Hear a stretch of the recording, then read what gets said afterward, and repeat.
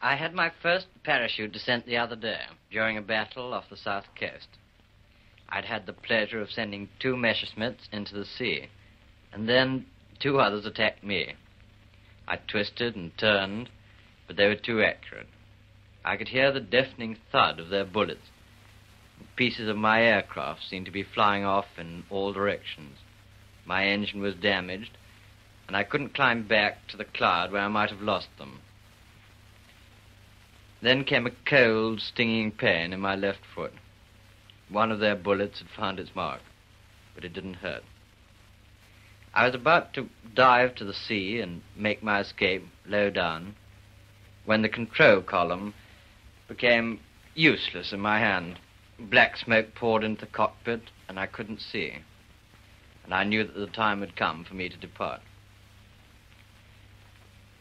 Everything after this was perfectly calm. I was at about 10,000 feet, but some miles out to sea. I lifted my seat and undid my straps and opened the hood. The wind became my ally, and a hand, actually the slipstream catching under my helmet, seemed to lift me out of the cockpit. It was a pleasant sensation. I was in midair, floating down so peacefully in the cool breeze. I had to remind myself to pull my ripcord and open my parachute. When the first jerk was over, I swung like a pendulum. This was not so pleasant, but I soon settled down, and I was able to enjoy a full view of the world below. The beach, some miles away, was soldiers, and the long lines of villas in a coastal town. There was no sensation of speed, but the ripples on the water became bigger, and the soldiers became nearer. I had one minute of anxiety as I floated down. One of the Messerschmitts appeared. The pilot circled round me, and I was just a little alarmed. Would he shoot? Well, he didn't. He behaved quite well. He opened his hood, waved to me, and then dived towards the sea and made off towards France. The wind was still friendly. It was carrying me in towards the beach. So I took out my cigarettes and lit one with my lighter without any difficulty. Ages seemed to pass. I threw away the cigarette as I came nearer and nearer to the coast.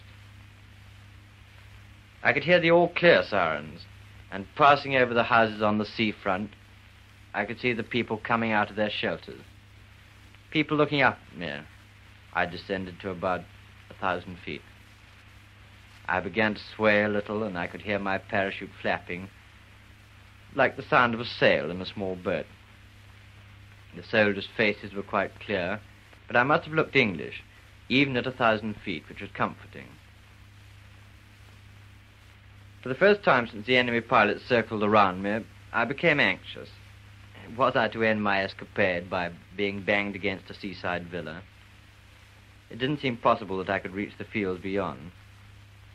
Well, the journey ended in a cucumber frame, after I'd pushed myself free of a house with my foot. It was the first time I'd ever bailed out, and really one of the most enjoyable experiences of my life.